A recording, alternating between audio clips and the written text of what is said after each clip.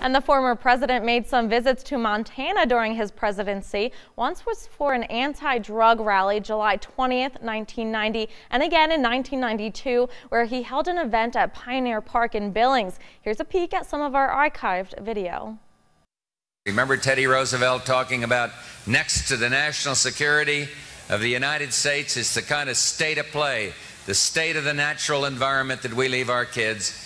You people in Montana have it, you understand it, you're compatible in terms of growth and building, but you're always respectful of the outdoors and the environment, and I'm here to salute you and wish you all very well indeed. And thanks for this warm Montana welcome. It's outstanding.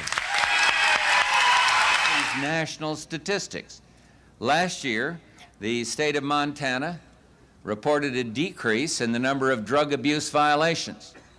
And it is news like this that deepens my faith, my conviction that together we can win this national war against drugs.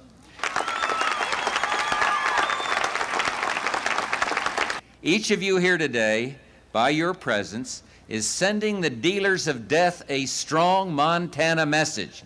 We will not surrender our children.